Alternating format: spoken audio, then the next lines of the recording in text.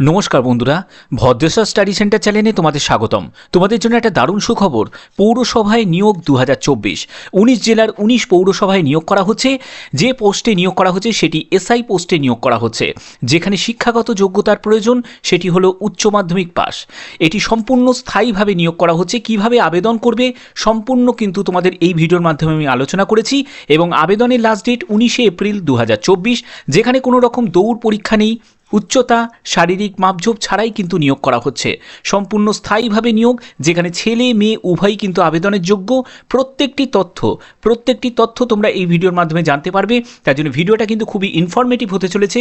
তো মূল ভিডিওতে যাওয়ার আগে প্লিজ একটাই রিকোয়েস্ট চ্যানেলটাকে অতি অবশ্যই সাবস্ক্রাইব করে বেল আইকন অল করে রেখো এবং ভিডিওটাতে এখনই একটা লাইক করে দাও। তো চলো মূল ভিডিওতে চলে যাচ্ছি। নমস্কার বন্ধুরা, তোমাদের জন্য একটা দারুণ সুখবর। উনিশটি পৌরসভায় নিয়োগ করা হচ্ছে, সম্পূর্ণ স্থায়ী পদে নিয়োগ করা হচ্ছে। যে পোস্টে নিয়োগ করা হচ্ছে সেটি হচ্ছে এসআই। এসআই ইন্সপেক্টর পদে তোমাদের নিয়োগ করা হচ্ছে।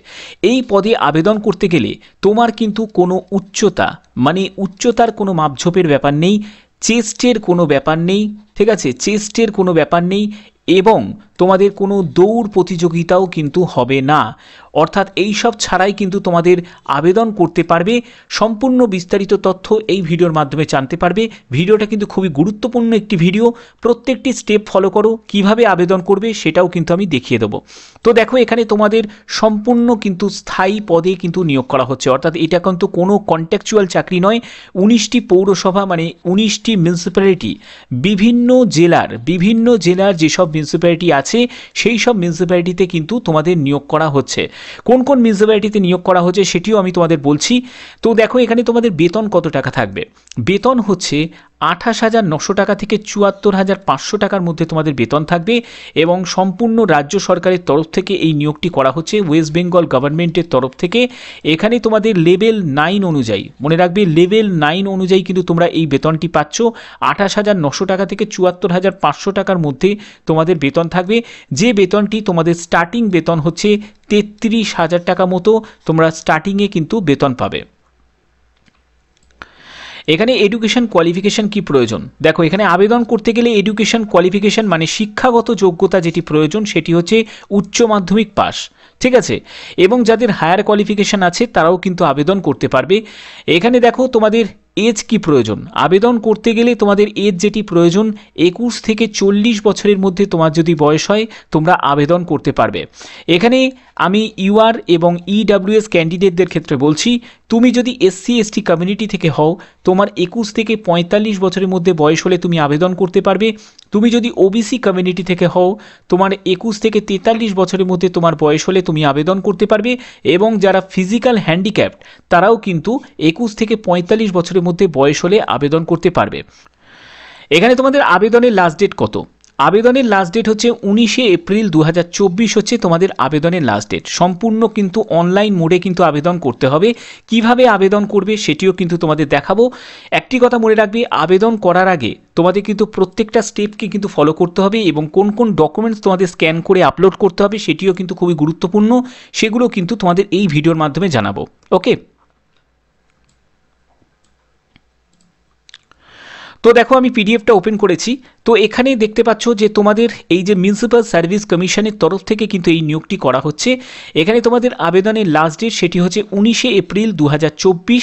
হচ্ছে আবেদনের লাস্ট ডেট এখানে প্রথমে তোমাকে রেজিস্ট্রেশন করতে হবে। রেজিস্ট্রেশন করার পরে সেই পাসওয়ার্ড দিয়ে তোমাদের কিন্তু লগ করে সম্পূর্ণ আবেদনকে কমপ্লিট করতে হবে। আবেদন করতে গেলে তোমাদের মাথায় রাখতে হবে যে কতগুলো ডকুমেন্টস কিন্তু তোমাদের আপলোড করতে হবে, সেগুলো তোমাদের বুঝিয়ে দিচ্ছি। তার আগে তোমাদের বলে দিই, এখানে সিলেকশন প্রসেসটা কি? সিলেকশন প্রসেসের ক্ষেত্রে যেটি থাকছে সেটি হচ্ছে তোমাদের examination will be held in Kolkata. কলকাতাতেই কিন্তু তোমাদের এক্সাম সেন্টার হবে। অর্থাৎ যারা যারা বাইরের স্টেট থেকে আবেদন করছ বা যে কোনো জেলা থেকে তোমরা যারা আবেদন করছ, তাদের কিন্তু পরীক্ষা দিতে কলকাতাতেই আসতে হবে। ঠিক আছে? এখানে প্রথমে তোমাদের রিটিন টেস্ট হবে, যেখানে এমসিকিউ টাইপের প্রশ্ন হবে, তারপরে তোমাদের পার্সোনালিটি টেস্ট হবে। এখানে দেখো, দুশো মার্কসের তোমাদের পরীক্ষা হবে। ঠিক আছে রিটিন পরীক্ষা হবে যেখানে একশোটা মাল্টিপল চয়েসের কিন্তু প্রশ্ন হবে। প্রতিটি প্রশ্নের মান হচ্ছে দুই করে। এখানে যদি তুমি ভুল উত্তর দাও, তাহলে কিন্তু নেগেটিভ মার্কিং এক করে কিন্তু তোমার নাম্বার কিন্তু কাটা যাবে। ভুল উত্তরের জন্য এক নম্বর কাটা যাবে। ঠিক আছে? এখানে মনে রাখবে যে question will be set in English এবং টাইম যে অ্যালাউড তোমরা কিন্তু যে সময়টা পাবে সেটি কিন্তু দেড় ঘণ্টা মতো কিন্তু তোমরা সময় পাচ্ছ। দেড় ঘণ্টা একশোটা মাল্টিপল চয়েস টাইপের প্রশ্ন হবে। এরপরে হচ্ছে চল্লিশ নম্বরে তোমাদের ইন্টারভিউ হবে, ঠিক আছে? ইন্টারভিউ হবে চল্লিশ নম্বরে। তো এইগুলো কিন্তু তোমাদের হচ্ছে তো এর জন্য এখানে বলে দিয়েছে যে ইন্টারভিউটাও কিন্তু তোমাদের কমিশন অফিসে মানে মিউনিসিপ্যাল সার্ভিস কমিশনের অফিসেই কিন্তু তোমাদের কন্ট্যাক্ট হবে। কলকাতা এখানে দেয়া আছে। এবং এখানে বলা হচ্ছে যে মেরিট কিন্তু তৈরি হবে three times number of vacancy অর্থাৎ যার ভ্যাকেন্সি আছে, তার তিন গুণ প্রার্থীকে কিন্তু ইন্টারভিউতে ডাকা হবে। ওকে আচ্ছা। এখানে দেখো, আবেদন করতে গেলে, আবেদন করতে গেলে তোমাদের আবেদন মূল্য কত টাকা লাগছে? আবেদন মূল্য হচ্ছে ইউআর এবং ওবিসি ক্যান্ডিডেট যারা আছো, তাদের দেড়শো টাকা আবেদন মূল্য লাগছে এবং হচ্ছে পঞ্চাশ টাকা হচ্ছে প্রসেসিং ফিজ লাগছে মানে দুশো টাকা আবেদন মূল্য যারা ইউআর এবং ওবিসি ক্যান্ডিডেট তারা দেবে। এসসি এসটি এবং ফিজিক্যাল হ্যান্ডিক্যাপ যারা আছো, তারা শুধুমাত্র প্রসেসিং চার্জ দেবে মানে পঞ্চাশ টাকা দেবে। তাহলে এসসি এসটি পিডাব্লিউবিডি ক্যান্ডিডেটদের শুধু পঞ্চাশ টাকা দিতে হবে আর দুশো টাকা হচ্ছে ইউআর এবং ওবিসি ক্যান্ডিডেটদের দিতে হবে। এখানে দেখো no exemption fees available SC ST OBC candidate of other state অর্থাৎ আদার স্টেট থেকে কিন্তু আবেদন করা যাবে, কিন্তু তারা কিন্তু কোনো আবেদন মূল্যে ছাড় কিন্তু পাবে না। ঠিক আছে? আচ্ছা আবেদন করতে গেলে তোমাদের কিন্তু এই এমএসসি ডাব্লিউবি ডট অর্চ এই যে অফিসিয়াল ঠিকানাটা দেখতে পাচ্ছ, এই ঠিকানায় আবেদন করা হবে। সম্পূর্ণ সরকারিভাবে এই নিয়োগটি করা হচ্ছে। এখানে তোমাদের যেসব ডকুমেন্টসগুলোকে আপলোড করতে হবে, সেই ডকুমেন্টসের মধ্যে প্রথমত যে ডকুমেন্টসটা সেটি হচ্ছে এসেন্সিয়াল কোয়ালিফিকেশান মানে যে কোয়ালিফিকেশান তোমার থাকছে যেটি হচ্ছে উচ্চ মাধ্যমিক পাস এটি হলো শিক্ষাগত যোগ্যতা এবং তোমাদের প্রফেশনাল কোয়ালিফিকেশান হিসাবে কিন্তু তোমাদের ডিপ্লোমা বা সার্টিফিকেট কিন্তু তোমাদের ডিপ্লোমা বা সার্টিফিকেট কিন্তু থাকতে হবে। অর্থাৎ সার্টিফিকেট থাকলেও কিন্তু হবে বা ডিপ্লোমা থাকলেও কিন্তু হবে। ঠিক আছে? এটি প্রফেশনাল কোয়ালিফিকেশান হিসাবে। ঠিক আছে? এরপরে হচ্ছে তোমার এজ এজ সার্টিফিকেট এজের জন্য ডেট অফ বার্থ বা মাধ্যমিকের অ্যাডমিট কার্ড বা সার্টিফিকেট দিতে পারো। কাস্টের সার্টিফিকেট দিতে হবে। পিডাব্লিউবিডি যদি ক্যান্ডিডেট কোনো আবেদন করে, তাহলে পিডাব্লিউবিডি সার্টিফিকেট দিতে হবে। এই সার্টিফিকেটগুলোকে কিন্তু স্ক্যান করে তোমাকে আপলোড করতে হবে অনলাইন যখন আবেদন করবে। ঠিক আছে? তো এখানে দেখো এজ রিল্যাক্সেশন এজ রিল্যাক্সেশন যারা এসসি এসটি তারা কিন্তু পাঁচ বছর ছাড় পাচ্ছে এবং ওবিসিরা তিন বছর ছাড় পাচ্ছে এবং যারা ফিজিক্যাল হ্যান্ডিক্যাপ তাদের ক্ষেত্রে কিন্তু সর্বোচ্চ পঁয়তাল্লিশ বছর পর্যন্ত থাকছে, অর্থাৎ একুশ থেকে পঁয়তাল্লিশ বছর। ওকে? আচ্ছা। এখানে তোমাদের এজ লিমিট আমি বলেই দিয়েছি, সেটি কিন্তু এক এক দু হিসাবে তোমাদের কিন্তু এজ ক্যালকুলেট করতে হবে। ঠিক আছে? একুশ থেকে চল্লিশ বছরের মধ্যে তোমার বয়স হতে হবে। ওকে? আচ্ছা এখানে তোমাদের যে পোস্টে নিয়োগ করা হচ্ছে, সেই পোস্টটি হচ্ছে তোমাদের স্যানিটারি ইন্সপেক্টর তো স্যানিটারি স্যানিটারি ইন্সপেক্টর পদে তোমাদের নিয়োগ করা হচ্ছে।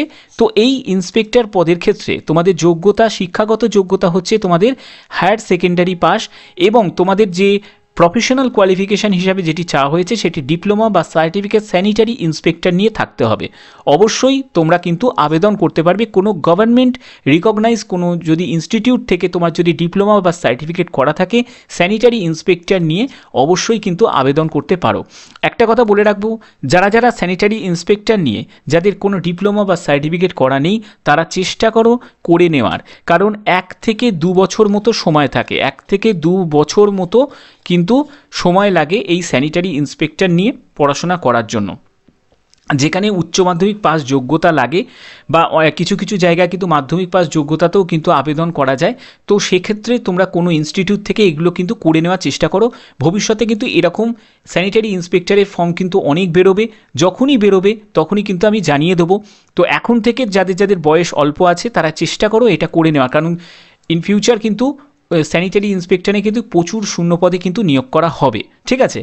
তো এখানে দেখো তোমাদের বেতন লেভেলও কিন্তু যথেষ্ট পরিমাণে ভালো, এই যোগ্যতা কিন্তু পরবর্তী সময় কিন্তু অনেকটা কিন্তু কাজে লাগবে। তো এখানে দেখো লেভেল নাইন অনুযায়ী রোপা দু হাজার উনিশ, আঠাশ হাজার নশো টাকা থেকে চুয়াত্তর হাজার পাঁচশো টাকার মধ্যে তোমাদের বেতন থাকবে এবং আদার যেসব অ্যালায়েন্স থাকে সেগুলো তো তোমাদের থাকবে। ওকে এখানে দেখো পুরুষ, মহিলা, একটি কথা মনে রাখবে, এখানে পুরুষরাও যেমন আবেদন করতে পারবে, মহিলারা আবেদন করতে পারবে, যারা ট্রান্সজেন্ডার আছে তারাও কিন্তু আবেদন করতে পারবে। সম্পূর্ণ কিন্তু আবেদন করতে গেলে অনলাইন মোডে তোমাদের আবেদন করতে হবে। এখানে তোমরা পোস্ট তোমরা দেখতে পাচ্ছ এবং তোমাদের বিভিন্ন যেসব মিউনিসিপ্যালিটির নাম তোমরা দেখতে পাচ্ছ। তো তোমাদের যে মিউনিসিপ্যালিটি থেকে তোমরা বিলং করো, সেই মিউনিসিপ্যালিটি তে কিন্তু তোমরা আবেদন করতে পারবে। ঠিক আছে? এখানে ভ্যাকেন্সি টেবিলে ভ্যাকেন্সি দেওয়া আছে এবং সবথেকে বড় কথা, যারা যারা আবেদন করবে, তারা কিন্তু অবশ্যই চেষ্টা করবে তাদের মিউনিসিপ্যালিটিতেই কিন্তু আবেদন করার। ঠিক আছে? তো এখানে উনিশটি টোটাল কিন্তু মিউনিসিপ্যালিটি দেওয়া আছে। তোমাদের, যারা যাদের এই লিস্টের মধ্যে, আমি ভিডিওটাকে মানে আমি প্রত্যেকটা মিউনিসিপ্যালিটির নাম আমি পড়ে দিচ্ছি, সেটা তোমাদের সুবিধা হবে। ঠিক আছে? দাঁড়াও। তো প্রথম যে মিউনিসিপ্যালিটিটা সেটা হচ্ছে Bankura municipality Diamond Harbour municipality Dumdum municipality English Bazar municipality Garulia municipality তারপর Halisahar municipality Hooghly, Chuchura municipality Jalpaiguri municipality Kharagpur municipality Mal municipality Nabadwip municipality Raiganj municipality Rajpur, Sonarpur municipality Rampurhat municipality Shantipur municipality Serampore municipality ঠিক আছে?